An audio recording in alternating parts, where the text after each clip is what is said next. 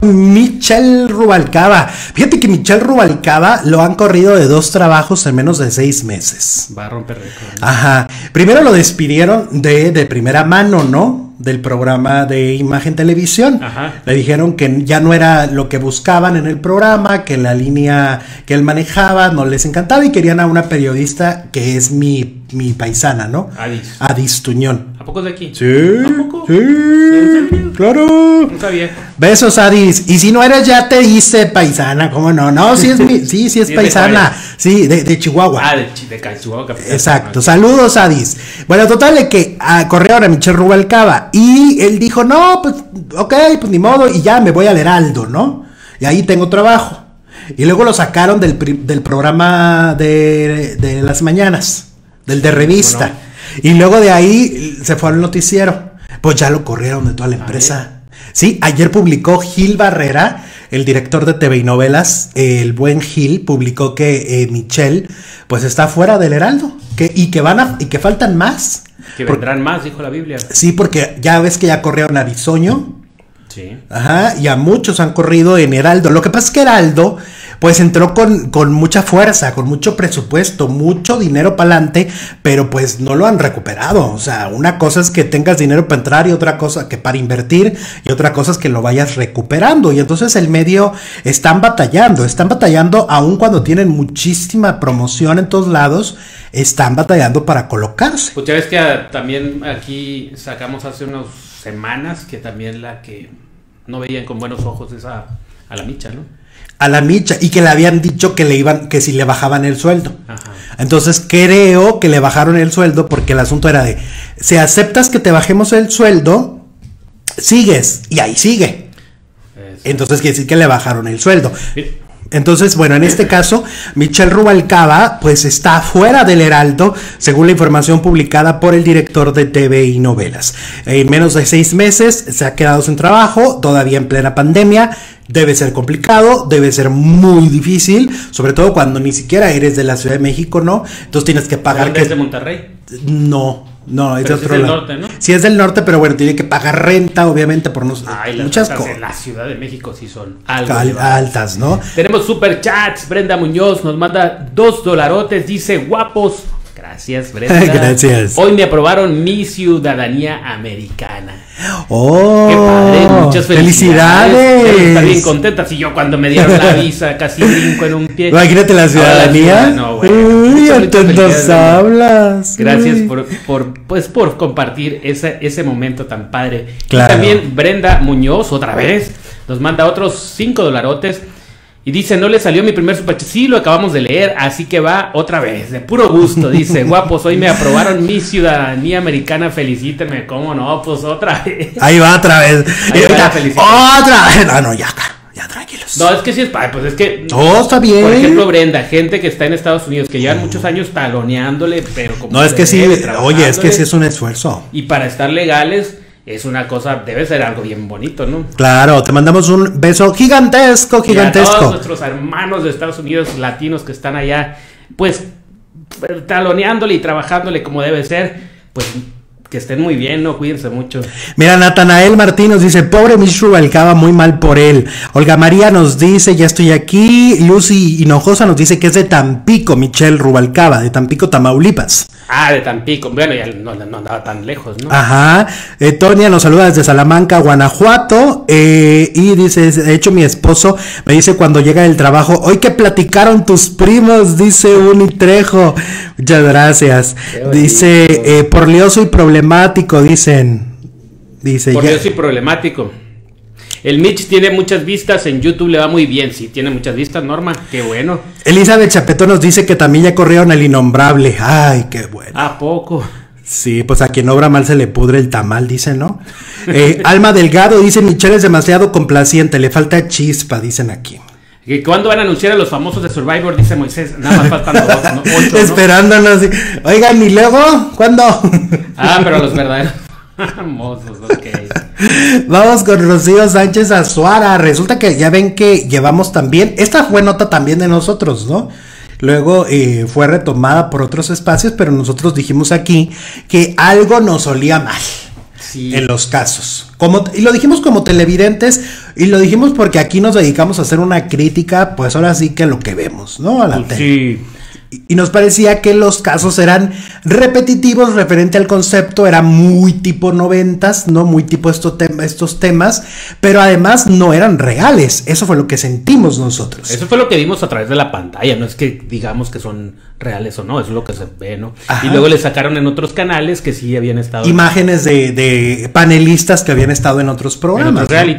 En- sí, sí, sí. Entonces, bueno, en este caso, eh, acércate Rocío, pues además de que no han logrado tener una audiencia muy alta, ¿no? Lo mejor fue al principio y luego vino un bajón y luego volvió a subir poquito y luego volvieron a bajar. Pues resulta que hay información en el programa de Flor Rubio de que ya Andrés Tobar, el productor, y Rocío se reunieron y decidieron de común acuerdo no presentar casos falsos. ¿Ok? Entonces dijeron, no, ya no vamos por casos falsos porque nos están este, reclamando. Eso es lo que dice. el- Bajando el, rating también, es- ¿no? Eso es lo que dijeron en el programa de Flor Rubio. Y que entonces eh, Andrés le dijo, hay que buscar temas mediáticos, temas que salen en las noticias, temas que son reales, temas que son ciertos. Y decidieron buscar a Nat Campos. A esta chica que abrió la caja de Pandora prácticamente cuando ella abrió eh, brecha en, en esto de, de las denuncias y que de ahí se desencadenó todo lo que estamos viviendo. Entonces Nat Campos fue invitada, pero afirman que no lograron eh, eh, una buena negociación porque Nat está cobrando por entrevistas. Oh, cielos. Entonces- Subieron los bonos después del escándalo. Flor Rubio decía que ella siente que es un gran error porque esto le resta al, al movimiento, le resta credibilidad, le resta puntos, eh, porque al final del día yo creo que cuando tú quieres justicia, no te importa el dinero, no te importa que te quieran pagar o no por una entrevista.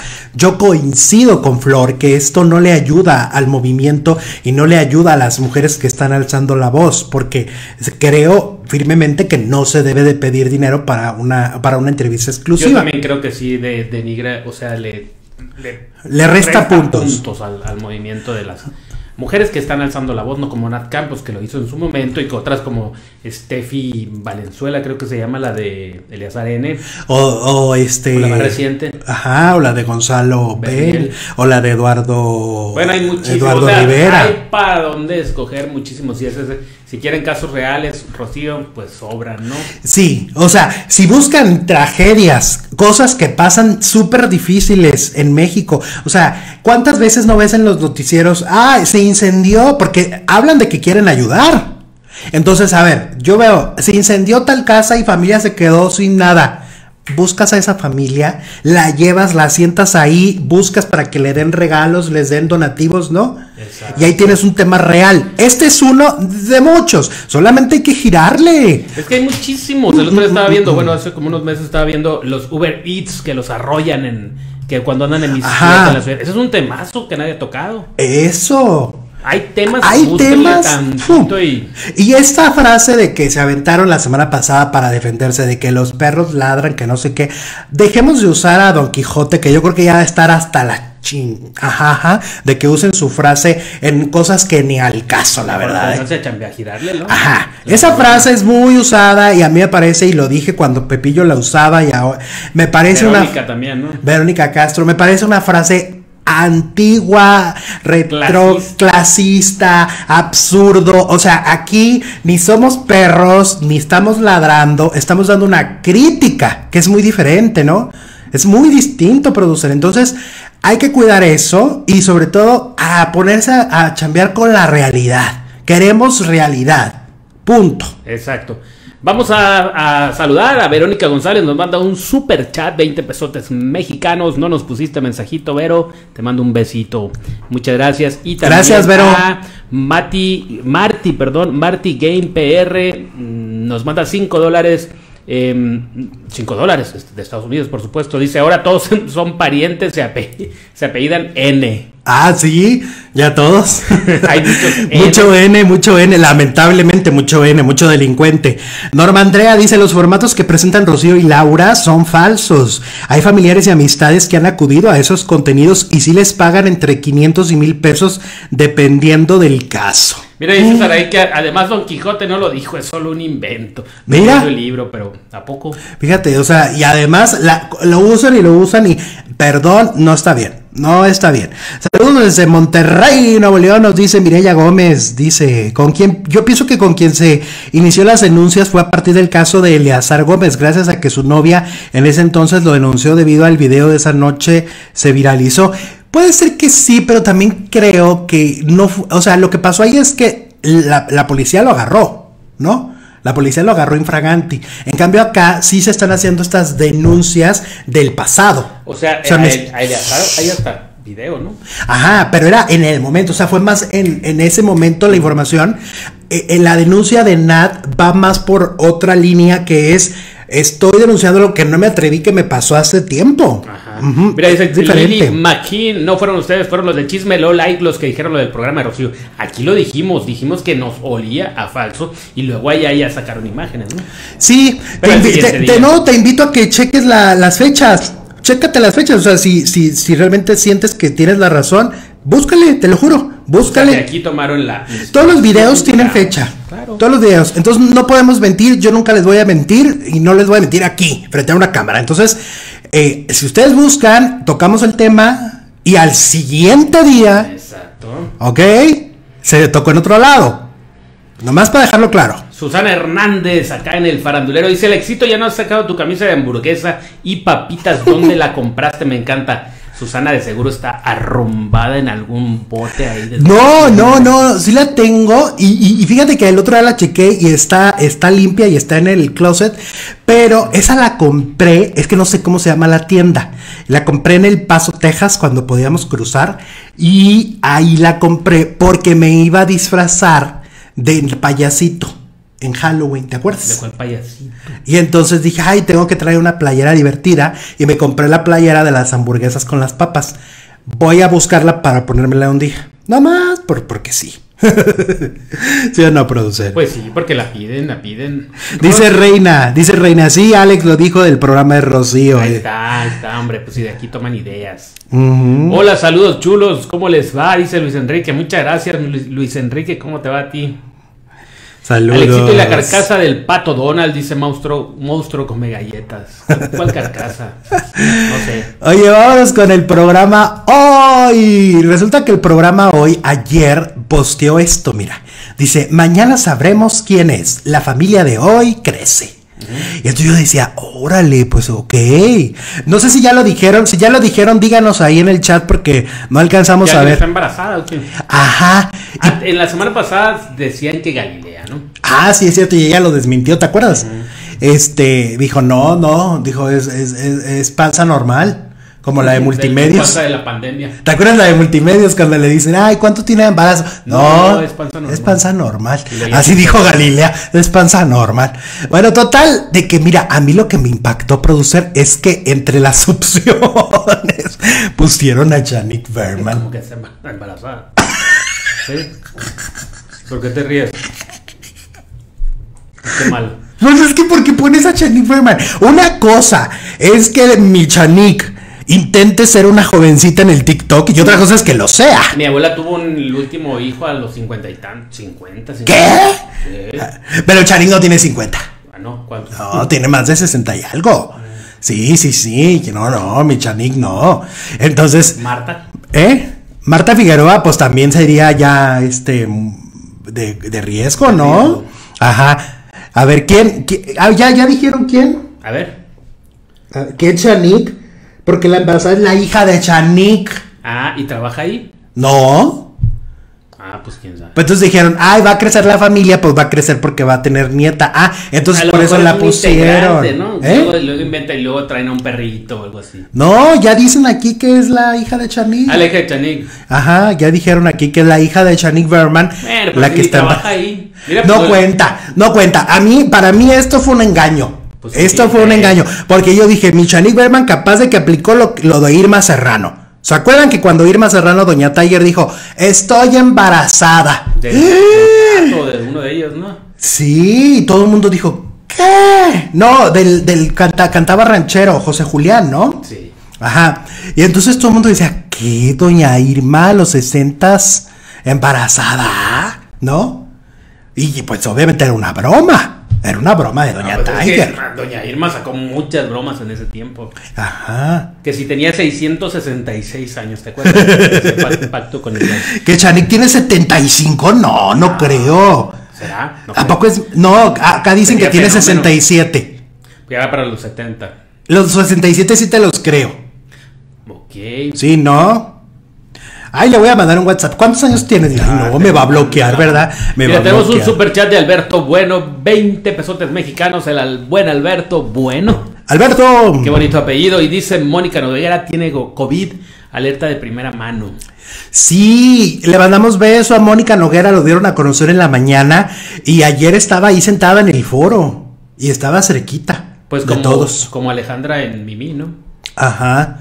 Sí, sí, sí, pues esperamos que esté bien, Mónica, ¿no? Mi tía se embarazó a los 42, dice Alberto Espinosa, y casi se nos estaba yendo porque fue un embarazo de alto riesgo. Es que creo que arriba de los 40 ya, ¿no? Ya es, ya es riesgo, ya, ya es complicado, tienen que estar muy al pendiente del embarazo, etcétera. Ya decir a los 67, pues ya no, ya es imposible. Según yo es imposible. Que tiene ¿Cuándo mal? 62, dice Abraham Andrade. Ay, no, pues Wikipedia. entonces ya nos estamos.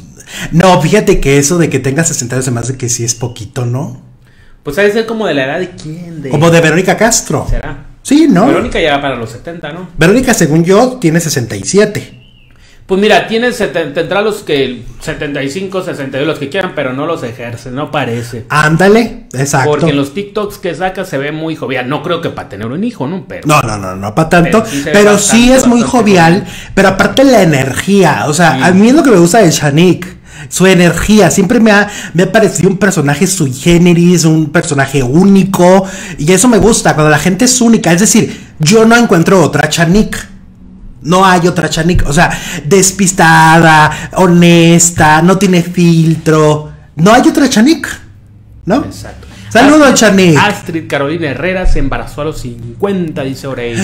A los 50. Pues ya ves que Ninel también tiene por ahí como que la intención, ha dicho, de tener un hijo. Sí. Y ya tienes más arriba de 40. Ujú. Mi abuela tuvo gemelos a los 43, dice Marty. Ok. Sí, sí. 43 años y gemelos, ¿qué tal? Dice, sí, es la hija de Chanik y la verdad eso no vale porque la chica no trabaja en hoy. O sea, se agarraron como de, de a ver de dónde nos agarramos para hacer ruido. Ay, luego espérate, que en la mañana abren el programa y hará de la torre.